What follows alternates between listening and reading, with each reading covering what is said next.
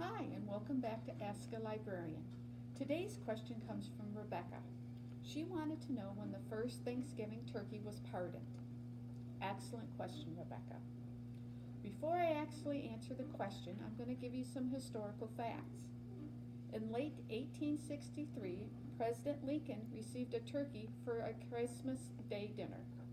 His son, Tad, adopted the turkey as a pet and named him Jack. He argued that the bird had every right to live out its days. So Lincoln gave in to his son and wrote a pardon note on a piece of paper and handed it to Tad. It was the first presidential turkey that was not eaten for dinner. In 1963, when President Kennedy was given a turkey, he announced he would not eat the bird. The newspapers then reported that the president had pardoned the turkey. In 1987, Ronald Reagan was the first president to actually use the word pardon.